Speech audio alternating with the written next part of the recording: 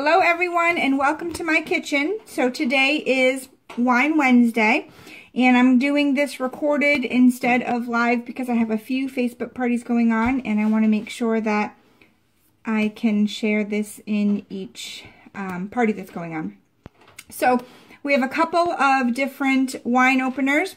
It's all about personal preference. It's also um, all about what you want to spend, and we also have some wine accessories to go along with them.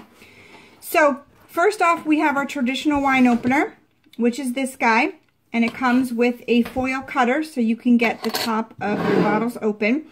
So this guy would just go on top like this, and then you just go down and up, and it would pull the cork right out just like that. I'm going to show you our electric wine opener because that's what I use most of the time. So this is electric. It's rechargeable. You plug it in just like you would your cell phone or your computer and it just recharges. So you never have to change the batteries, which is pretty cool. And from what I understand, you can open 66 bottles approximately um, on one charge. So I haven't gotten there yet, haven't opened that many wine bottles, so I haven't had to recharge this yet. So the stand that it lives on is also a foil cutter, okay? So I've got a bottle here, gonna do the foil cutter. And you always wanna do a foil cutter because if you um, don't, then it's harder to get the cork out. But also if you do other things like use your good knives and stuff like that, you're just gonna ruin your knife, so don't do that. So we've cut our foil, so there it is, okay? So we've got our cork here. So we're gonna take our wine opener, place it on, make sure you hold on to the bottle or else the bottle will spin and then just press the button. You can see it lighting up pretty blue, right? So then it's just going to pull it up when it's done, and I went in kind of crooked, so took it out a little hard. So then when you're ready to take it out, you just push the reverse button, and then it just pushes the cork right out like that. Okay? So we've got some other wine accessories here that I want to share with you. So first of all, we have our dripless pourer stopper.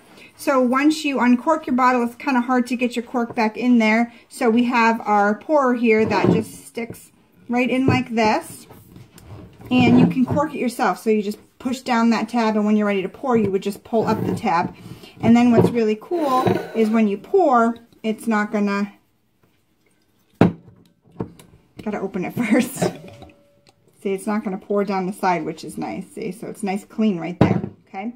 So then, if you're a wine drinker, like I am, um, you know that uh, red wine has tannins in it, which um, a lot of people say that it changes the taste of the wine.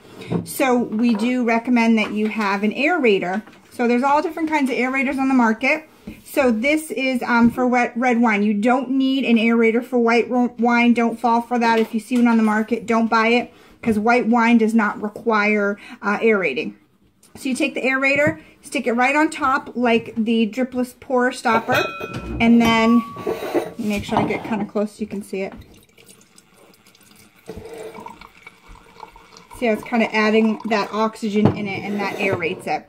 So red wine needs to be aerated, right? So you can open it a couple hours before your meal, let it sit on the counter, put it in a decanter, which is those, it's thin at the top and then it kind of uh, bells out a little bit. Um, and you can let it sit in there. Me, preferably, I just do this and then the wine is ready to drink, okay? So some other tidbits for you um, for your wine is your red wine is supposed to be served at room temperature and your white wines are supposed to be served chilled, okay? My personal preference, I like all my wine cold. Colder the better. But again, it's all up to you how you like to drink your wine, okay? So red wines are supposed to have a nice big goblet so you can hold it like this and the warmth of your hand uh, keeps the wine warm. So then for white wine, you're supposed to have a stem um, so you can hold it like this and keep the wine from uh, getting warm from your hand. And then this is for champagne. Don't be putting your wine in here. This is for champagne, okay? I'm not a wine expert, but let's keep everything correct, okay? So that's what I have for you guys for right now. Um, stay tuned. We're going to play a little game this evening. So tune in to win lots and lots and lots of tickets, okay? All right. Thanks for tuning in.